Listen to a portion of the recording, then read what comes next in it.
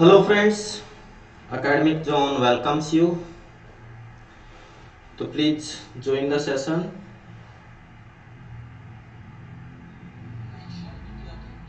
जल्दी जल्दी से एक बार आप लोग ज्वाइन कर लीजिए और अपने साथियों के साथ शेयर भी कर दीजिए।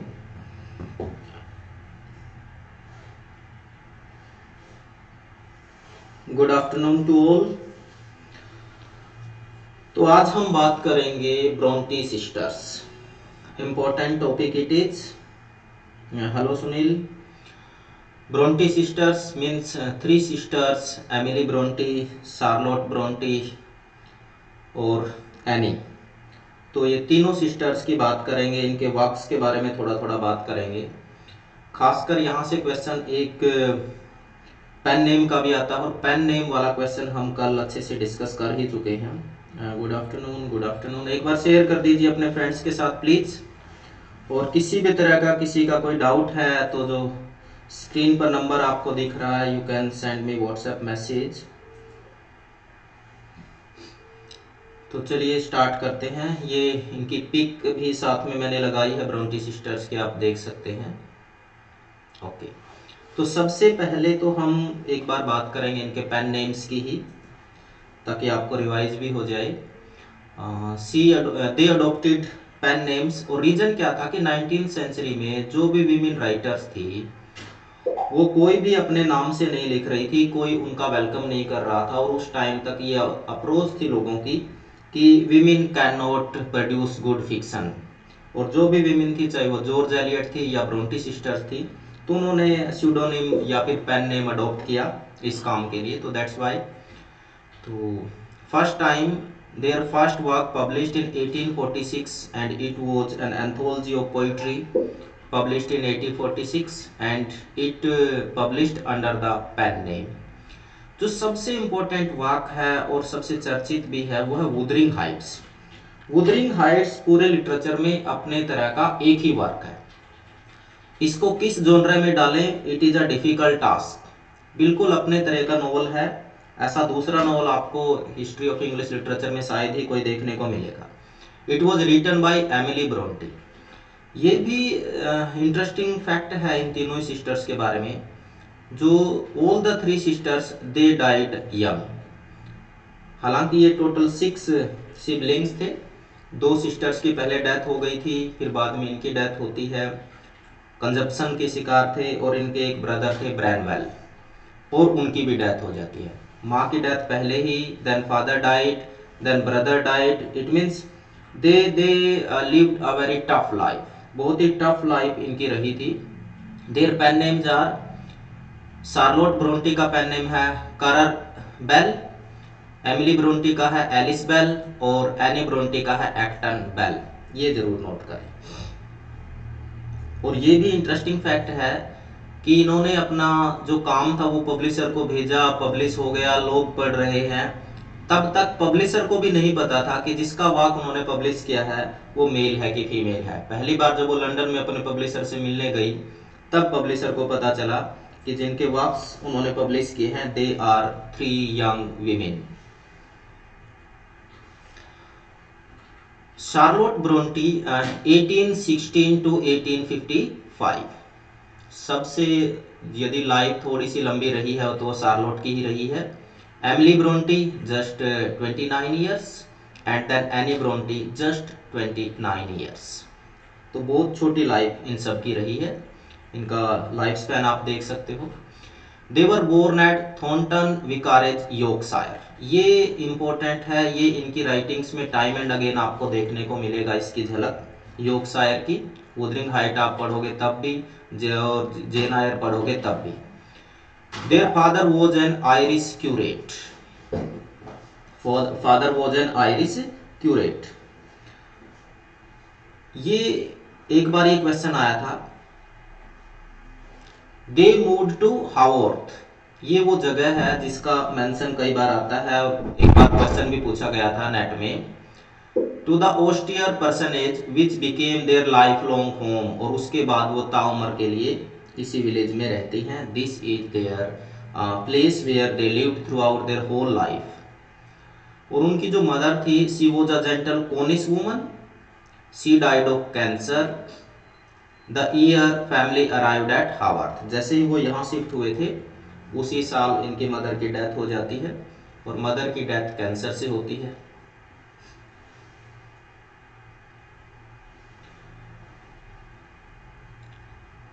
Her sister Elizabeth Branwell was persuaded to move to damp and windy Yorkshire to look after the children इसका मतलब क्या हुआ? कि जब इनकी मदर की डेथ हो जाती है तो इनकी जो मौसी जी थी एलिजाबेथ उनको इस बात के लिए कन्विंस किया गया कि जो बच्चे हैं, उनकी देखभाल आप लोग करेंगे। और five girls and a boy called जैसा कि मैंने पहले ही बताया there were six siblings there were five girls and a boy and the name of the boy was Branwell तो सी सोड लिटिल अफेक्शन जो मौसी थी वो भी कोई ज़्यादा आप कहिए कि आ, उनको अफेक्शन नहीं किया प्यार नहीं था। तो she just did the duty for the sake of doing only अब 1824 में क्या होता है? Patrick Bronte manage to find a school Cowan Bridge run by Reverend Cowan for the four older girls. Because they were poor also it was very difficult for them just to uh, afford the fee of the school. तो Patrick Bronte जो patron थे उन्होंने एक school ढूंढा और उस school में अपने जो चार जो बड़ी लड़कियाँ थी उनको भेजना स्टार्ट किया। लेकिन वो भी ज़्यादा जो है नहीं चला सिस्टम उनका। तो there they led a life of self denial submission frugality punishment and repression it means that the school was also not a welcome place for them वहाँ पर भी जो है कोई अच्छा एटमोसफियर इनको नहीं मिला। Charlotte instilled the bitter and lasting resentment she expressed some 20 years later in Jane Eyre. आपको ध्यान होगा जेन आयर में हम क्या देखते हैं कि जो जेन है, जब वो स्कूल में पढ़ रही होती है तो स्कूल का जो एक्सपीरियंस था वो बहुत ही it was horrifying experience for her बाद में वो वहाँ ट्यूटर के तौर पे भी काम करती है। ठीक ऐसा यहाँ पर भी हुआ है रियल लाइफ में भी। उन्होंने ट्यूटर के तौर पे काम किया है। तो इसका मतलब जो जेन आया है उसमें, वो बायोग्राफिकल जो आप कहिए कि छाप देखने को मिलती है उनके अपने स्कूलिंग की। उनकी जो सिस्टर्स थी, मारिया एंड एलिजाबेथ, जो वो छोटी ही लाइफ सॉरी एज में उनकी डेथ हो गई थी, इसलिए हम इन दो को नहीं जानते। Maria and Elizabeth literary point of view से they are not important but if we are discussing the biography of Bronte sisters then definitely we should mention the name of Maria and Elizabeth. It means that total five sisters were there. Annie Bronte, Emily Bronte, Charlotte Bronte, Maria and Elizabeth Bronte और ब्रैनवेल जो इनके brother है they died of tuberculosis ये वही है जिससे kids की भी डेथ होती है same disease few months after their arrival उनकी डेथ हो जाती है दोनों बहनों की Charlotte and Emily were brought home where Emily remained there for next 10 years. And Charlotte for 6 क्योंकि उनके बाद तो डेथ ही हो जाती है। तो जो यंग ब्रोंटीज हैं दे क्लोजर टुगेदर एमिली ये जो एमिली ब्रोंटी है और एनी ब्रोंटी है, दोनों बहनें आपस में एक दूसरे से काफ़ी एसोसिएटेड थी। और जो एनी ब्रोंटी है, उनकी पोइट्री वो छुप छुप के लिखती थी, बाद में देखा एमिली ने और उसके बाद कुछ फीलिंग शेयर किया। और दोनों पैशनेट भी बहुत थी। शार्लोट ब्रोंटी के कंपैरिजन में एमिली और Anne they were quite passionate वो एमिली ब्रोंटी का जो नोवेल है वुदरिंग हाइट उसमें देखने को मिलता है और एनी की पोइट्री में। And uh, soon became immersed in telling them writing stories about fantasy they created. तो दोनों बहनें अब आपस में शेयर भी कर रही हैं। दोनों लिख देखिए कमाल की बात है कि आ, तीनों ही बहनें लिख रही हैं और तीनों ही बहनें बहुत अच्छी हैं। और तीनों ही एक ऐसे एटमोसफियर में पल बढ़ रही हैं जिसमें सर्वाइवल के ही लाले पड़े हुए हैं। But still they are writing they are expressing their feelings on paper और शुरुआत में तो पता भी नहीं होता तीनों को तो आपस में कि जो है तीनों ही इस प्रोजेक्ट के ऊपर काम कर रही हैं। देखिए दूसरा क्या है? ये जो है अपनी रोज़मर्रा की ज़िंदगी के लिए 20 miles a day over the moors during these walks their imagination was fed with tales of the supernatural told by their Methodist housekeeper Tabitha Aykroyd जो कि एक विडो है 56 ईयर ओल्ड तो जो कहानियाँ सुनी, जो मूर का जो इलाका है आयरलैंड की यदि हम बात करें, चाहे फिर आपका उधर से टेड ह्यूज में भी आप पढ़ोगे तो वहाँ भी वो मूरिस इलाका जो वो देखने को मिलेगा। और ये मूरिस इलाका आपको ब्रोंटी सिस्टर्स में भी देखने को मिलेगा। तो उसकी साफ़ छाप इनकी लिटरेचर के ऊपर देखी जा सकती है। तो जब सार्लोट 19 इयर्स की थी देन व्हाट हैपन ये एक असिस्टेंट टीचर बनती है रोहैट स्कूल में। She became the assistant teacher at Roe Head जो कि सार्लोट ब्रोंटी के जेन आयर जो नोवल है, उसमें चीज़ें रिफ्लेक्शन इनका मिलता है। वहाँ पर सैलरी बहुत कम थी अ टाइनी सैलरी लेकिन जो इम्पोर्टेंट चीज़ थी वो क्या थी कि इनकी जो छोटी बहनें थी, उनके लिए फ्री स्कूलिंग ऑफ़र की थी कि आपको थोड़ा सा सैलरी भी मिलेगा। उसके साथ साथ आपके जो सिस्टर्स हैं, वो फ्री में पढ़ सकती हैं स्कूल में। तो ये ऑफ़र जो था, दूसरे नंबर का जो ऑफ़र है it was lucrative to them लेकिन ये भी नहीं चला। आप यदि इनका पूरा पढ़ोगे तो यहाँ भी ये काम भी ज़्यादा सक्सेस नहीं हो पाया। वहाँ का एटमोसफियर इनको रास नहीं आया और कुछ दिनों के बाद जो है वो शार्लोट वो पोस्ट छोड़ देती है। जो पैट्रिक ब्रंटी है, यानी कि जो फादर हैं, उनकी अब हालत बिगड़ती जा रही है और अब काम करने का या सर्वाइवल के जो पूरी ज़िम्मेदारी है वो सिस्टर्स के ऊपर आन पड़ी है। Then they set up their own school अपना एक स्कूल बनाती हैं। Anne Branwell agreed to finance the venture जो इनकी मौसी है, वो आखिरकार जो फाइनेंस है, उसके लिए पैसा देने के लिए राज़ी हो जाते हैं। और क्या डिसाइड किया जाता है कि Charlotte and Emily should attend a school in continent to perfect their French and improve their German ताकि वो एक अच्छी टीचर बन सके। और अप्रेंटिस के लिए जर्मन और फ्रेंच सीखने के लिए तो स्कूल में एडमिशन इनका करवाया जाता है ताकि ये ट्रेंड हो सके और उसके बाद अपना काम अच्छे से एज ए टीचर अच्छे से अपनी ड्यूटी परफॉर्म कर सके। अब यहाँ से क्या होता है कि भाई जो शार्लोट ब्रोंटी है, जो एल्डेस्ट सिस्टर है, सबसे बड़ी जो बहन है, इसको नोटबुक्स मिलती हैं एमिली की। एमिली जो पोएम लिख रही है शार्लोट को नहीं पता है, एनी और एमिली, उनका आपस में ट्यूनिंग अच्छी है, वो एक दूसरे के साथ डिस्कस कर भी रही है थोड़ा बहुत, लेकिन शार्लोट को नहीं पता था। तो एमिलीज जो गोंदल पोएम्स हैं and others of a more personal nature तो she found that notebook she found the poetry written by her own sister and she was very much impressed और अब उसको, उसमें जो एक्सप्रेशन था, जो पोइटिक क्वालिटी थी अपनी बहन के अंदर तो she was very much you can say impressed by that rare talent of her sister then what happen Into a violent rage, Emily accused Charlotte of betrayal, but gradually consented to write a book together. बहुत गुस्सा हुई क्योंकि उसने उसकी बिना permission के उसकी notebook check कर ली थी लेकिन बाद में किसी तरीके से सहमति बनी कि वो जो है इसके ऊपर काम करेंगे और उसके बाद में इसको पब्लिश भी करवाएँगे। यही वो नोटबुक की जो सबसे पहले 1846 में पब्लिश होती है।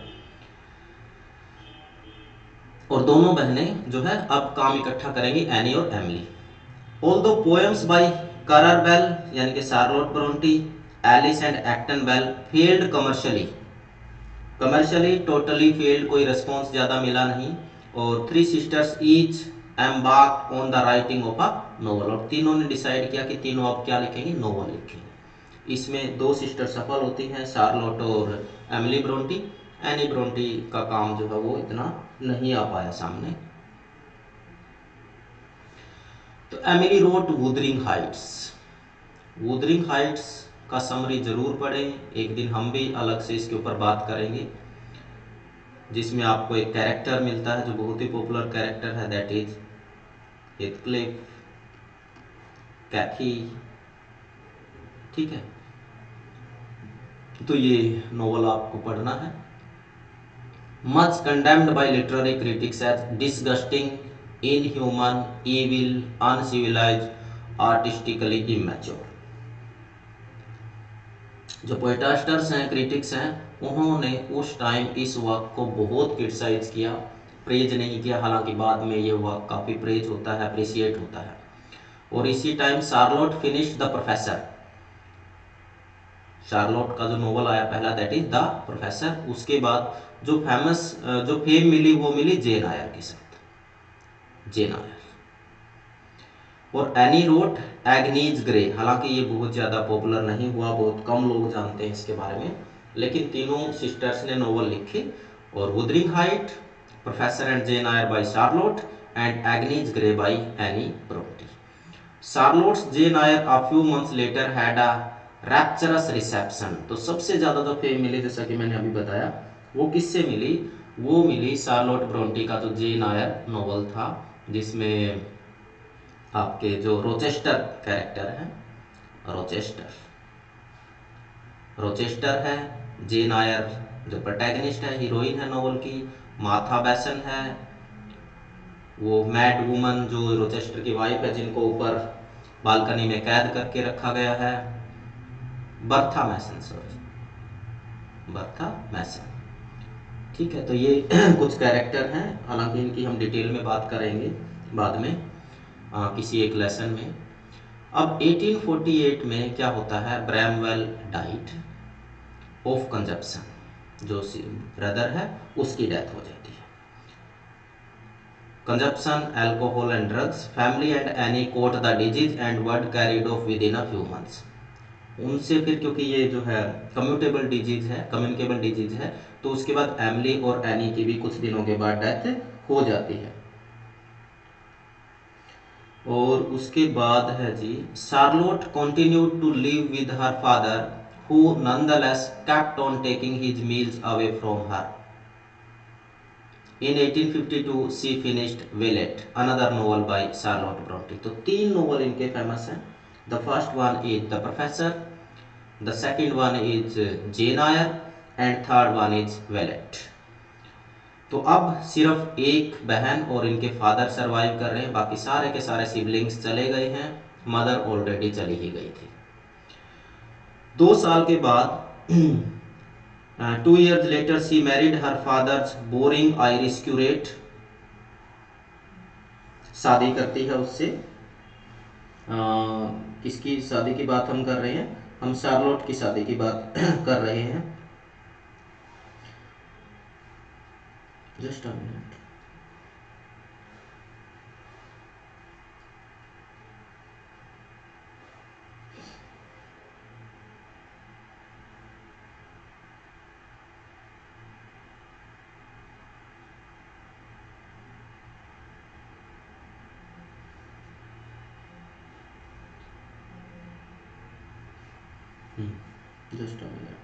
please one minute कुछ हो गया है इसको।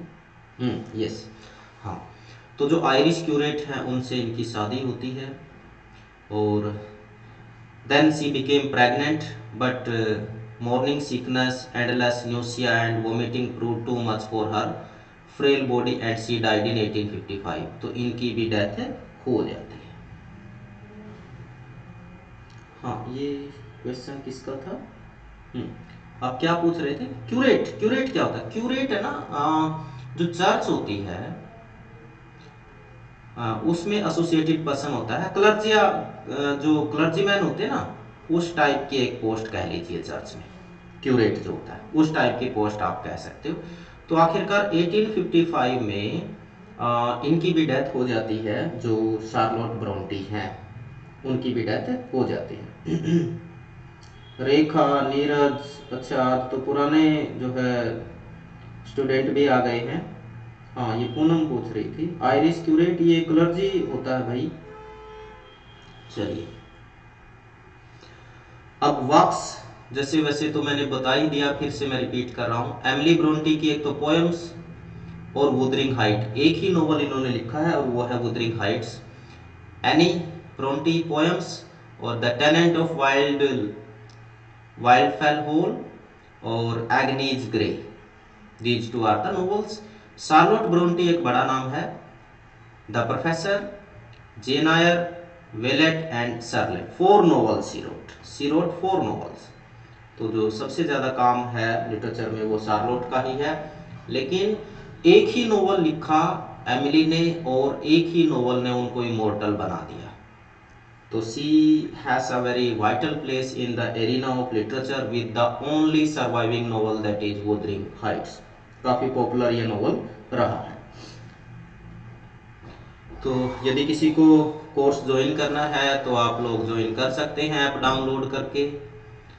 ये उन कोर्सेज के जो है स्क्रीनशॉट आपके सामने है, आप देख सकते हैं, चाहे पी वाई क्यू हो या मेजर कोर्स हो, कोई भी ज्वाइन कर सकते हैं। तो किसी का, किसी तरीके का कोई क्वेश्चन है तो आप पूछ सकते हैं। हाँ यदि किसी ने अभी तक चैनल को सब्सक्राइब नहीं किया है तो प्लीज़ चैनल को सब्सक्राइब करें। अपने साथियों के साथ भी शेयर किया करो भाई। बहुत कम लोग जुड़ते हैं। कम लोग जब होते हैं सेशन में तो बात करने का भी ज़्यादा मज़ा नहीं आता है। थोड़े से अच्छी यदि नंबर हो स्ट्रेंथ अच्छा हो तो सेशन को थोड़ा सा लंबा भी किया जा सकता है। तो if you have any query in your mind you can write now or you can send me message on whatsapp also the number is on your screen you can note down the number send me the whatsapp message any query कोई है question किसी का चलिए thank you